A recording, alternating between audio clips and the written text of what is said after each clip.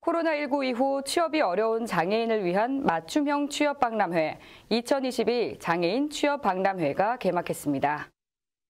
대구시가 주최하고 한국장애인복지관협회 대구광역시협회와 한국장애인고용공단 대구지역본부 주관으로 진행하는 대구 장애인 온라인 취업 박람회가 지난 8월 29일부터 10월 31일까지 두 달간 운영됩니다.